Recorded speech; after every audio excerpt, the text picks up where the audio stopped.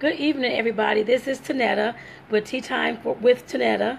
I'm like a day or two late, actually, because over the weekend I had a fun weekend with my goddaughter. We went to the lake and all that kind of stuff, and I forgot to do it last night, so I'm bringing it to you this evening. Um, this evening, actually, I'm actually um, going to be talking about something somebody uh, messaged me about, actually, and I wanted to make sure that I gave the person an answer I did try to, of course, reach out, reach back out to the person. They didn't really answer or or reply to me at the, I guess as of last week or, or as of today. So I just kind of wanted to reply to the person, of course, on video, just in case this um, message can help others, of course, who are looking to share their story and don't know how or might be afraid to do so.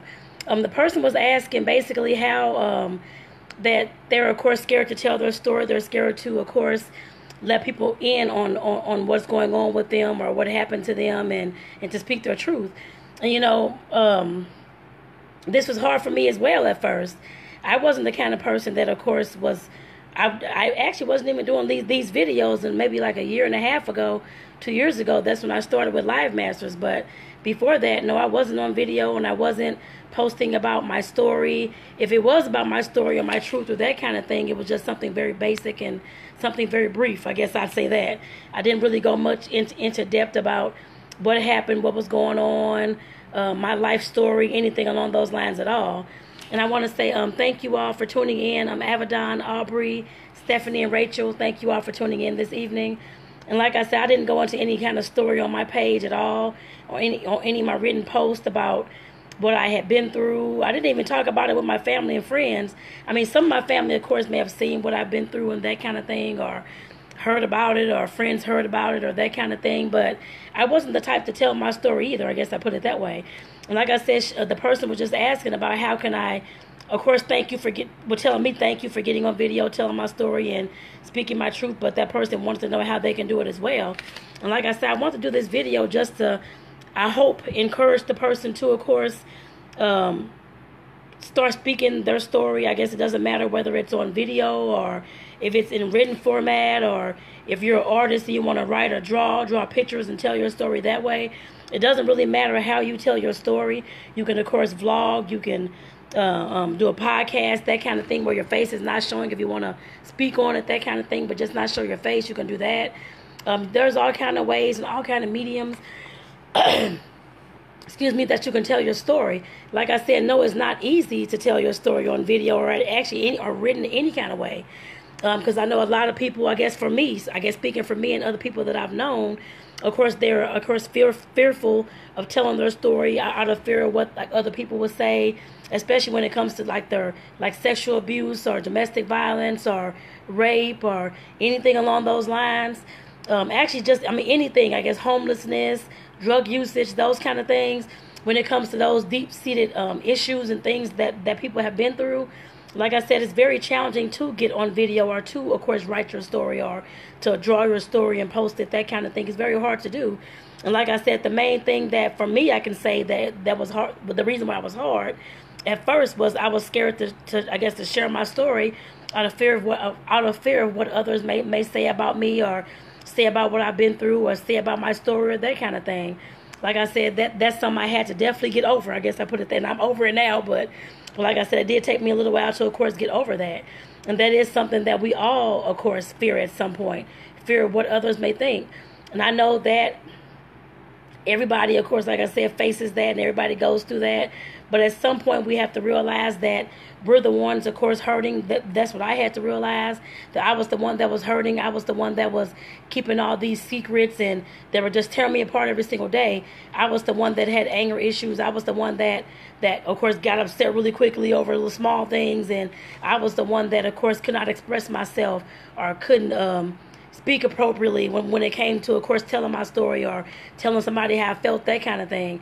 And like I said, I was the one that was hurting very, very badly all the time. And like I said, I was suicidal at, at, at, a, at, a, at a, a few times in my life, of course, as well. And like I said, I had to get to a point where I was sick and tired of holding all this stuff in just to please other people and just to, of course, keep other people at peace. I guess I put it that way. And like I said, whether it was my family or friends or coworkers or whoever, whoever it was that I was scared scared to tell my story in front of, I went ahead and told my story anyway, whether they liked it or not, or whether they wanted to listen or not, or whether they even cared or not. like I said, I had to be the one to, of course, step through that fear and, and, and, and do it anyway. I guess I put it that way. As far as telling my story, speaking my truth, and getting those things off of my chest. And of course, I feel a lot better now, I guess, of, of course, of doing that. And I just want to let that person know that, of course, if you're you've been through some of those things and you're fearful and actually anybody out there and if you're fearful of course of telling your story and just just speaking what happened to you or speaking the lessons that you've learned or and just getting the courage to say those things like i said there's nothing wrong with that everybody goes through that but like i said as far as pushing through that fear you hopefully at some point will of course push through that fear to of course go ahead and speak your story tell your truth that kind of thing to of course clear your mind like i said that's the main thing that it did for me was just to free me i guess i put it that way free me from all the bondage that was holding me back as far as uh, all the, like I said, the sexual abuse and the domestic violence and all these things that I've either been through or seen just holding me back. And like I said, that I was stunting my own growth. And I had to come to a point where I had to realize that, that I was stunting my own growth and that there was no need for me to, of course, continue to be, I was, what, 41 years old because this happened last year. So, I mean, just, just recently. So, like I said, I had to push through all that and realize that my sanity, my peace was was was way more important than then whatever whatever everybody else will think about my story or or me telling my secrets or that kind of thing. Like I said, that that's something that I know a lot of us go through as far as fearing what others think about us. Like I said, you have to do what you got to do. I guess I put it that way. And Aubrey said yes, and breathing help. Um, breathing helps along the way, and breathing definitely does. And that's meditation. I had to learn how to meditate, how to breathe, how to slow myself down, how to do all those things. Like I said, I know I had to go through that. A lot of us have to go through that as well. And the breathing does definitely help. And speaking about slowing myself down and all those kind of things, and I know I mentioned it in a, a few other videos as well, because I know sometimes we, of course, are scared to, to I guess if you're wanting to do a video or that kind of thing, and are scared to, of course, get on the vlog or whatever it is um, to, of course, showing my face and speaking on the video or, do, or doing a podcast. And, of course, back in the day, back when I was growing up, I was one that, that stuttered a lot all the time. And certain words I just couldn't get out. I couldn't enunciate, enunciate the words. Having problems now, I guess I put it that way, but I couldn't enunciate the words and those kind of things to get the words out. Like I said, I was, of course, made fun of and said that I was a liar or I was lying all the time because I stuttered, and which those are stupid stigmas that people have about folks that stutter. Usually, that's just a, um, a stigmatism that they have, and they just can't enunciate the words, and their brain is kind of thinking faster than than what they're saying. I guess in my case is what it was.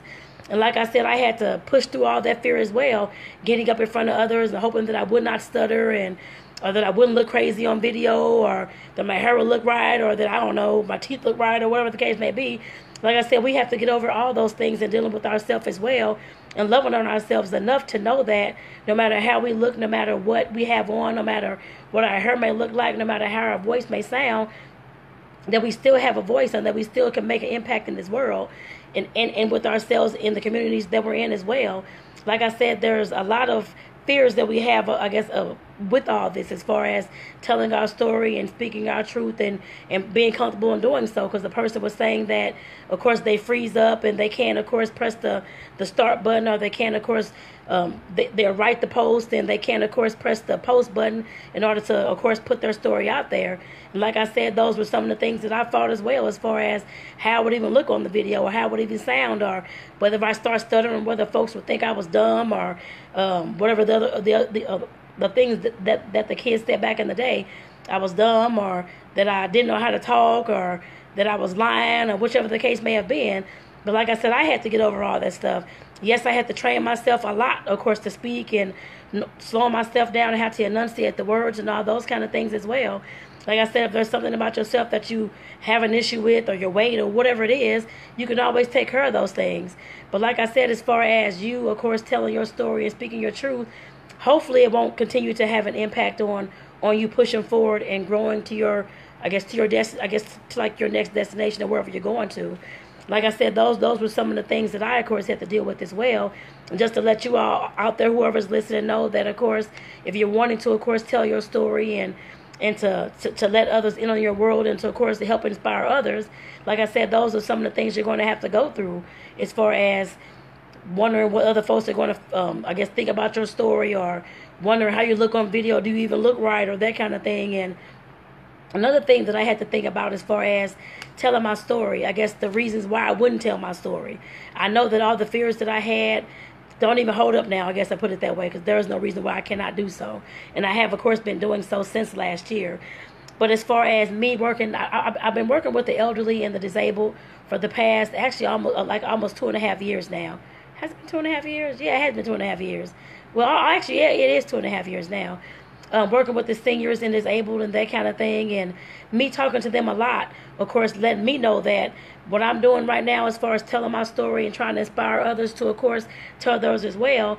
Like I said, speaking with those kind of people make you realize whether you want to volunteer with them or you work with them or you have kids in foster care that you're working with, whoever you're working with, the homeless, that kind of thing.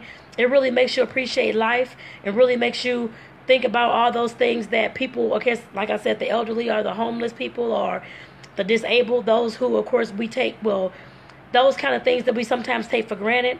Of course, like I said, they're always telling me about their regrets and what they wish they could have, would have, should have done back in the day and how they had, I guess, allowed that fear to hold them back.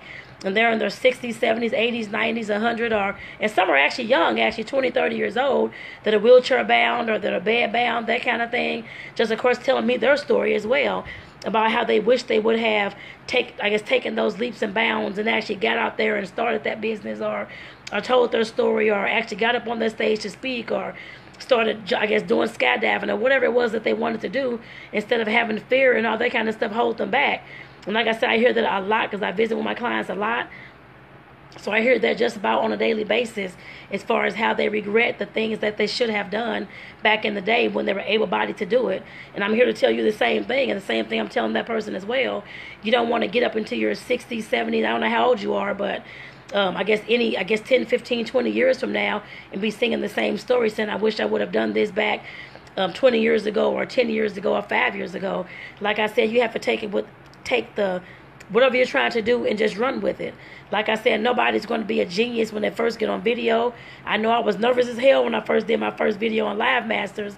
Scared to hold, I kept the phone in my hand, scared to look at the camera, I'm looking off to the side and all kind of things. And I'm sure I did stutter on that video as well. I'm pretty sure I did because I was so nervous. And like I said, nobody's a genius when they first start doing videos or once they first start um, doing a podcast about their story or once they start posting about their story, that kind of thing at all. And of course, with time, you'll get better. And like I said, just just just just knowing that it's, it's just, I mean, that, that's actually good in anybody's business, no matter what you're doing. If that's your goal, if that's what you want to do, go ahead and start doing that. You don't have to hold, continue to hold yourself back. Like I said, what I've learned, and from me holding myself back the last 41 years, I'm 42 now. So like I said, the last 42, four, I guess 41 years, me holding myself back from telling my story and speaking my truth and trying to get my story out there, it was more for me than anybody else. Because like I said, I was suffering. I was suffering at times. depressed, wanting to kill myself at times, and wanting to just beat people up and wanting to kill somebody or get mad at somebody and angry at somebody else and didn't love this person, I hated you, and all these kind of things going on. And like I said, I realized that I was hurting myself more than anybody else. And like I said, that's where I had to stop, not not I guess not speaking and not and not speaking up for myself, not telling my story, not speaking my truth. Like I said, those things were hurting me. I don't care about the other people. Of course, I know some of the stuff I've told. Of course, it's family secrets or things that happen in families where your family say you shouldn't tell this and uh, generational curses, whatever you want to call it. Like I said, I had to take it upon myself to be the, I'm the only one that I know of in my family um, on both sides that, that that's actually speaking about these kind of things. Like I said, I'm not going to continue to sit there and hold myself back and to, and to not speak on these things and sit up and hurt myself. I guess I put it that way, like I had been doing and was doing in the past. Like I said, I hope that, that the person will see this video. I'm not going to tag them in the video, but hopefully they will see this video too, of course. Get some nuggets from here, I guess I would say that, and hopefully learn something from here, I guess I put it that way, that they can use in, in order to, of course, tell their story and and speak their truth. And of course, if once the person listens to this video of you, of course, needs to reach back out to me and hopefully you you reply this time and get and get the courage to reply this time. And I hope that you do, because like I said, I can definitely help you through that. I mean, I don't mind doing that at all. So so definitely reach back out to me. And that goes for anybody that's watching this video. I really don't care if you reach out to me or not. But but like I said, specifically for that for that person that's struggling and trying to tell their story, I know that person is hurting as well, because that's what because that, that that that's what she, um that's what the person put into the message as well. So, like I said, hopefully that person will, of course, reach back out and get the courage to, of course, let me know what's going on so I can best help them. I guess I put it that way. And like I said, for anybody that's listening to this and that's having a hard time telling their story, speaking the truth, like I said, there's all kind of ways that you can do so. You don't have. I chose to do it on video form, and I do it. Um, I, I love to write. That's that's my passion as well. So I love to write. So I'm constantly writing, and my posts are like a page long and that kind of thing. But I love writing. Like I said, I don't do that every single day, but uh, several times a week. I will post like a long post and express myself that way as well. Like I said, you can do it either video like this, or you can do a podcast, or you can do it writing i guess if you're a creative writer you can do it in poetry form. It doesn't matter what kind of form you do it in. Like i said before if you want to if you're an artist and you like to like to draw or you like to paint you can always paint your feelings and do those kind of things as well. Or you play music you want to put it all in music and you write music and and those kind of things. Like i said you can always leave all that on the paper or I guess on your instrument or on your voice or that kind of thing. Whatever your medium is, go ahead and use that medium like I said, you don't have to hold yourself back because if you are scared of what others are going to say. Yes, I got some backlash from my family as well and from my friends as well that that was around me about me saying certain things or I shouldn't have said this about my parents or I shouldn't have said that or like I told them I don't care what you I guess what you I mean I, I, I do respect everything there everybody tells me I, I, I do respect that but like I told them, I'm telling my story. I don't care if you want to hear it or not. If you don't want to hear it, you can just click off or scroll down or whatever the case may be, or or not even talk to me anymore. I guess family or not. And like I said, that's just me. I mean, I know everybody's not that kind of person as I am. I guess I put it that way, and and don't and can't advocate for themselves as well. But there's always ways that you can, of course, let your family know. I guess in a nicer way. I, I didn't put it as nice when I said it, but I mean, there's always ways that you can say things like that to, of course, let your family and friends know that you respect what they say, but you're going to speak your story and tell your truth anyway. Like I said, you will get backlash. I can tell you that already. You may get backlash from those you, you, you, you don't even know and who are just on social media just saying that you're dumb or you're stupid or you're telling too much of your business or that kind of thing. But if that's what you're wanting to do, you cannot let that hold you back either. Like I said, I hope that this video reaches at least that one person that, of course, asked that question and, and that messaged me last week about this as far as how do they, of course, tell their story, speak their truth, and not be so so so scared to do it. So so like I said, I hope that it really does reach that person. I'm trying to see if there's anything else that I have. So I put like a little sticky note trying to see if there's anything else. So I guess that's actually it. Um, like I said, for those who um, join on this video, and I will of course reply to comments later on before I go to bed, or actually in the middle of the night probably. I put it that way because that's what I did last night. But um, Avedon, I want to thank you again for tuning in. Aubrey, Stephanie, Rachel, Lamar, um, Michelle, let me see, Lucian, I want to thank you all for tuning in this evening. And like I said, I will reply to you all's um, comments later on this evening or overnight. But like I said, I hope that this video at least reach one person. The person that, of course, reached out to me, hopefully that this person sees the video. if not, of course, I hope it reaches at least one other person tonight or, or tomorrow, whenever they view this video. And like I said, again, I want to thank you all for tuning in this evening. And for those who watch the replay, do enjoy. And everybody have a great evening. And I love you all. Take care.